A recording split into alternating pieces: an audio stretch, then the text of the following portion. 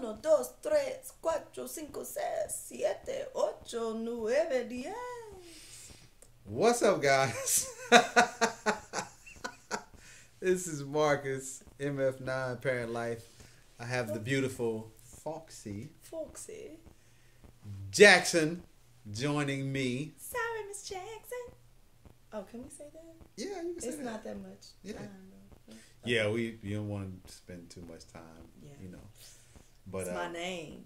it's um honored, you know, because you usually don't do too many parent life videos. But I know. I'm glad you decided to join me though. Mm. Mwah! There was something that was a pressing issue that I had to get off my chest. Go, you go right ahead. Okay. You go right ahead. You get it off your chest. So what I'm going to show the people first is a simple little Listen up, guys. picture. Can you see that? Can you see that? Huh? Okay. So if you'll notice, the waves are going in different directions. One's going up, while the other one's going down. Okay?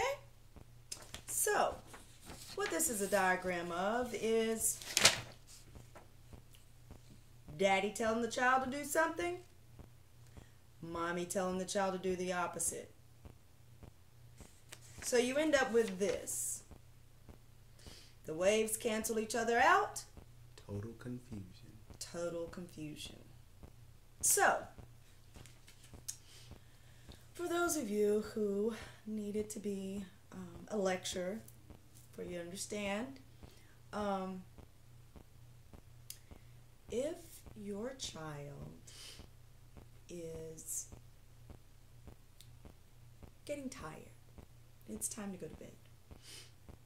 And I say, little, little one, it is time to go to bed.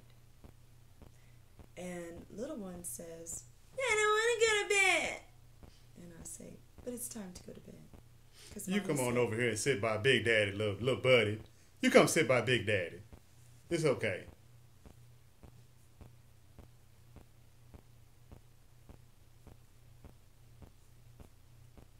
Yeah, that's how this gonna go. Yeah.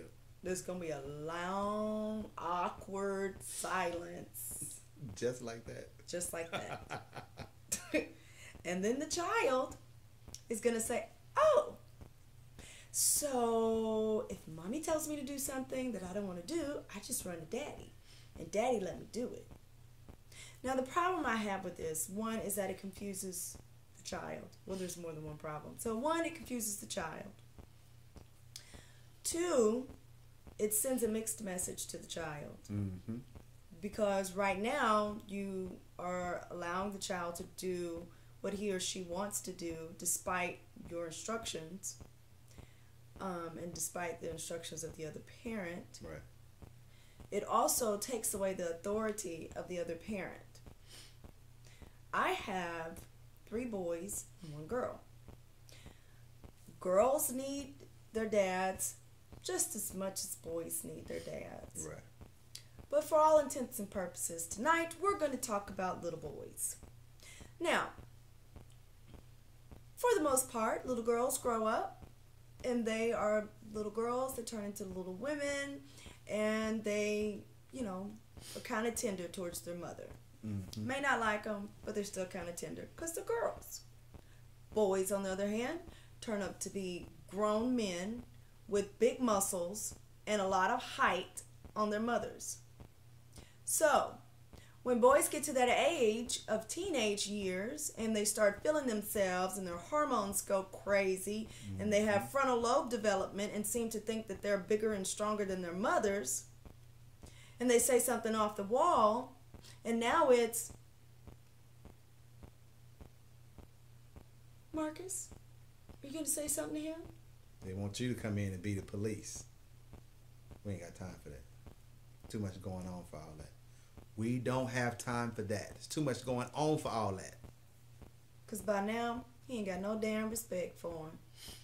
Because all them other years he was growing up, when he didn't want to do something, he came to you and you let him do whatever he wanted to.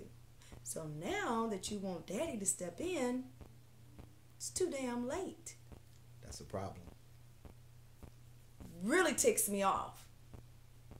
Really. Really. Because you're going to sit up there and you're going to let this child, who is a freaking child, manipulate you? And play you against each other. That's not what you want. That is not playing the game the right way. No. Even if you don't agree, you don't let the child know that you don't agree. You take care of the child, and then the two of you go into the room and discuss quietly why you didn't agree. So that the next time you still appear to be on the same front.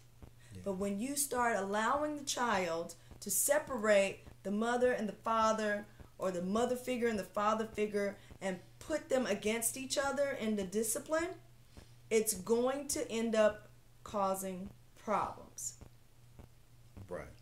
And how you and how you correct that is you tell the child, no, you do what your dad just told you to do. Or no, you do what your mom just told you to do. So Right. that is a solution. Okay? You err on the side of caution, all right?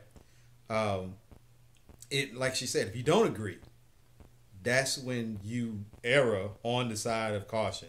Okay, um, go do what your daddy told you to do. You know, I'll talk to dad later. I'll talk to mom later. Never argue in front of the child. That is a huge, huge no no. Um, stop doing that. If you're doing that, stop doing that. If you don't know how, call us. If you have some problems with that, call us 469 910 5810. We'll be happy to talk you through that. Mm-hmm. Any comments, questions? You want to tell us we're wrong? Email us. Let us know. Yeah, Marcus and Foxy at gmail.com. absolutely. M A R C U S A N D F O X Y E at gmail.com. Absolutely. And we're not wrong. I'm pretty sure we've been. Yes, we will definitely help you with that. We will give you some ideas to how on on how to counteract that, because that's a no no. We don't want to do that. We never want to argue in front of the kid, the children, and uh, we can help you find a solution for that problem. I think that's it. All right.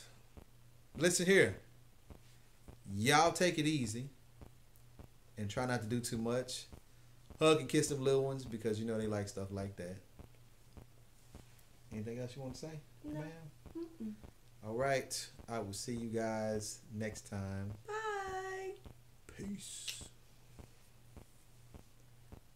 I want to thank you for coming on the show. Holla.